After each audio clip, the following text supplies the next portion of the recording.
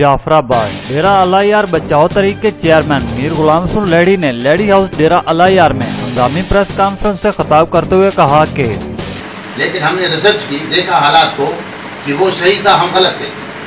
اور انہوں نے کام جتنا اس سے ممکن ہو سکا ہے، کیا ہے۔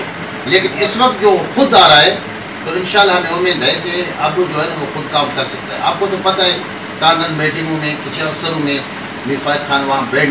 میں پاکستان طریقہ انصاف کے نامزد امیدوار میر محمد عمر خان جمالی کے پینل کا ساتھ چھوڑ کر، باقاعدہ طور پر بلوچستان عوامی پارٹی کے نامزد امیدوار میر فائق خان جمالی کی مکمل طور پر حمایت کا اعلان۔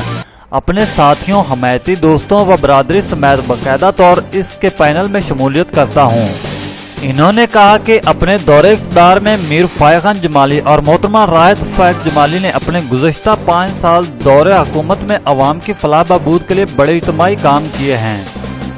اسے مد نظر رکھتے ہوئے میں اس کے پینل میں مکمل طور پر شامل ہوا ہوں اور امید رکھتا ہوں کہ وہ دو ہزار اٹھارہ کے الیکشن میں کامیاب ہو کر ڈیرا علیہ شہر سمیت اپنے حلقہ انتخاب میں عوام کی بھرپور انداز میں خدمت کریں گے۔